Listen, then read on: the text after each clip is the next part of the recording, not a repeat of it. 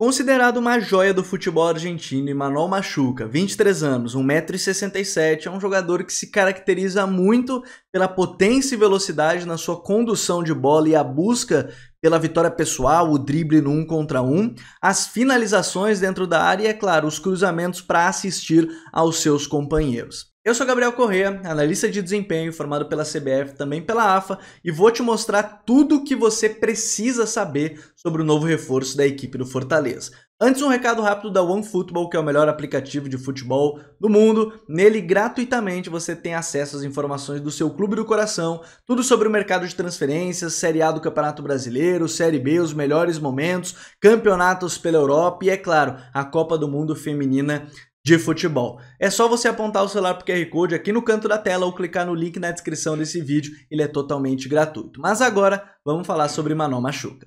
A primeira coisa que a gente precisa falar sobre o jogador é que ele prioritariamente atua pelo lado direito do 4-1-4-1, do 4-2-3-1, do 4-4-2, enfim, ele é o ponta do lado direito. Essa é a posição prioritária, posição número 1, um, digamos assim, do Emmanuel Machuca, vocês já estão vendo inclusive no mapa de calor onde ele recebe mais a bola.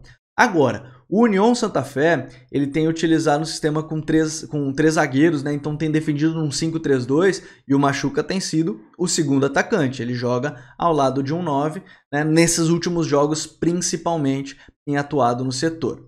Em outros momentos, né, um pouco mais raro, mas joga ali naquela posição, ele atuou pelo lado esquerdo né, do campo, como um ponta pelo lado esquerdo. Ao longo da análise, vocês vão perceber que ah, o estar do lado esquerdo traz outras características para o jogador, mas prioritariamente ele é um atleta do lado direito. O Machuca, ele é um jogador que tem muita força e velocidade para suas arrancadas.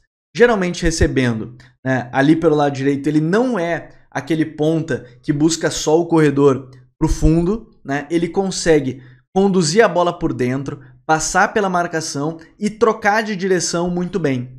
Então, por exemplo, ele recebe aqui o passe, vai estar tá protegendo a bola. Ele leva para um lado, acompanha o marcador, ele leva para o outro, o marcador já não consegue no mesmo ritmo e mesma velocidade fazer essa troca de direção. Só que há um porém nessas conduções do, Emmanuel Machuca, que às vezes ela, a bola ela acaba ficando longe do seu pé. Ele, ele acelera e deixa às vezes a bola um pouquinho longe do seu controle, mas de maneira geral consegue driblar a marcação muito bem. Ó. Leva para um lado, leva para o outro, o marcador já perdeu o ritmo da jogada e ele com muita força, velocidade consegue arrancar e ganhar metros importantes. Essa proteção de bola, inclusive, é importante ressaltar porque, mesmo ele tendo só 1,67, ele tem aquele físico mais truncado, ele consegue proteger a bola de costas. Né? Aqui nesse jogo contra o River fica bem claro isso. Recebe de costas, protege, troca de direção rapidamente, arranca e já passou pelo marcador. E aí sim, ele chega na linha de fundo para fazer a sua jogada para cruzar ou para finalizar, que é o que a gente vai falar agora. Um pouquinho mais do Emmanuel Machuca, criando lances ofensivos. E se você estiver gostando desse vídeo, é totalmente gratuito deixar aquele like para a gente chegar em mais torcedores do Leão. Bom, Emanuel Machuca, tá? Marcado por três jogadores. Ele vai fazer essa condução. Ele é um jogador que consegue ser criativo. Como? Usou perna direita para cortar para um lado. Perna esquerda, cortou para o outro. Perna direita de novo, então troca de direção rápida, usando ambos os pés para isso, né? Uma hora perna direita, uma hora perna esquerda, o que dificulta para o marcador. E ele tem uma boa leitura do atacante que vai fazer esse movimento de facão, né, aquela diagonal às costas da defesa, usando o pé esquerdo, inclusive. Então, ele consegue fazer esse tipo de passe para criar as jogadas, né, esse tipo de finalização. Arrancando, ó, recebeu de costas, recebeu o impacto, manteve a postura, adiantou a bola e aí vê o jogador de novo, o companheiro, atacando a profundidade. Dessa vez com o pé direito ele dá o passe às costas no timing certo, mas o jogador acaba errando a finalização. Mas vejam que ele consegue arrancar da direita para dentro e ter esse passe em profundidade para os companheiros. Inclusive, é importante, né, que quando deixam esse corredor aberto, a gente viu muitas arrancadas para o corredor central, então os marcadores acabam ficando mais nessa zona. Quando você deixa o corredor para o fundo aberto, o Emmanuel Machuca, digamos assim, ele não perdoa. Ele domina, já levando para o fundo, e aí ele tem essa leitura dos cruzamentos dele muito interessante, que não são cruzamentos que variam só, por exemplo, cruzamento rasteiro para trás. Não, os dribles dele que geralmente envolvem potência, né, de driblar e já chegar no fundo, eles chegam ao fundo e não fazem cruzamento, ó, não vai ser o cruzamento rasteiro, cruzamento alto, na segunda trave. Tem uma variação importante nesse tipo de jogada, inclusive utilizando o pé esquerdo. E por isso que ele acaba sendo tão importante jogando pelo lado direito no União Santa Fé. Ele consegue utilizar a perna esquerda com tranquilidade, já tá o pé natural ali pelo lado direito, e ele acaba sendo um jogador importante. Bolas paradas. Ele batia alguns escanteios no União Santa Fé, não era a principal virtude dele. Geralmente aí sim não tem uma variação. Geralmente é uma batida na segunda trave, mais alta, né? Aquela bola mais leve para que os companheiros cheguem cabeceando, cheguem finalizando. Não acho que vai ser o caso no Fortaleza dele ser esse cara das bolas paradas, mas é uma possibilidade aí, né, do jogador poder ser esse cobrador oficial dependendo da situação. Seguinte, não é inscrito ainda no canal, gosta de análise tática? Pois bem, é de graça também, tá? Deixar aquela inscrição e conhecer mais o nosso conteúdo por aqui.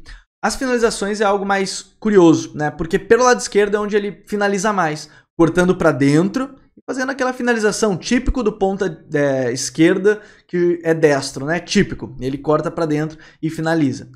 Mas ele tem ajudado muito o time em transição, né? Porque o time do União Santa Fé entrega um pouquinho mais a bola e ele tá sempre nesse limite da linha defensiva adversária, o que acaba tornando uma arma, na verdade, ofensiva para transições, para ataques mais rápidos e ele consegue finalizar com muita qualidade quando ele está em situação de um contra um. Inclusive atuando muito no setor entre zagueiro e lateral, que a gente costuma chamar de meio espaço. E aí ele vai receber esse passe em profundidade e já vai ajeitar para finalizar com a perna direita. Vejam que nesse caso específico ele não utiliza tanto assim a perna esquerda para dominar. Ele prefere utilizar a parte externa do pé ali para dominar com a perna direita.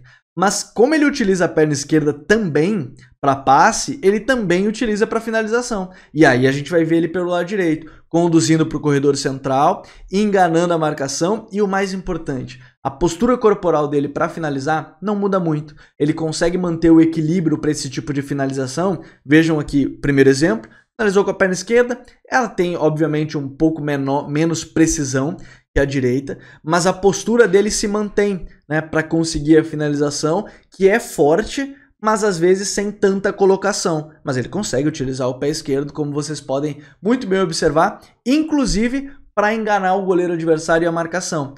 Recebendo numa transição, como nesse gol, ele vai receber o passe em profundidade, vai gerar uma situação de 3 contra 2 para a equipe do União Santa Fé. E aí o detalhe, ele corta para dentro e aí pode ser que ele tocasse para a segunda trave, jogador mais livre, mas ele engana inclusive o goleiro com uma finalização de pé esquerdo no contrapé do goleiro, tirando qualquer possibilidade da jogada. E aí você vê o gol marcado pelo Imanol Machuca. De fora da área, ele finaliza. Não é o melhor finalizador de fora da área, mas ele arrisca, né? É um jogador que gera muito volume, domina aqui com a perna esquerda, já levando para frente, ó, levando para ficar de frente pro gol. Finalização geralmente com força, né? Nesse caso das de fora da área, a precisão mediana, mas corta para dentro, finaliza de fora da área, ele gera muito volume. Finalizações me parece muito mais pelo lado esquerdo do que pelo lado direito, mas o lado direito ele também pode fazer isso defendendo. Vamos pensar na equipe do Voivoda, né, que é uma das equipes que pressiona muito o adversário. Ele sobe pressão, tá? Ele marca alto, ele consegue fazer esse tipo de movimento. Porém, ele não é um jogador que tem a melhor leitura desse tipo de, de momento. Ele às vezes se desgasta demais nesse sentido. Vejo que nesse lance ele vai subir a pressão, mas ele sempre vai chegar atrasado no timing. Ó, ele acaba às vezes correndo de maneira desnecessária e se desgastando. Entretanto, ele vai subir a marcação. Ó, o time subindo ali no, no, no 4-4-2 vai subir a marcação em cima do adversário e ele vai tentar fechar as linhas de passe, mesmo que nem sempre ele consiga fazer. Até porque o time do União Santa Fé gosta de finalizar quando recupera. Ó, ele recuperou a bola, cortou uma linha de passe, finalização com a perna esquerda. Vai recuperar o mais rápido possível e já tentar finalizar esse tipo de jogada. Para entender agora como é que ele vai encaixar na equipe do Voivoda, minha sugestão é você clicar nesse card aqui que a gente tem uma análise detalhada sobre o modelo de jogo do Fortaleza.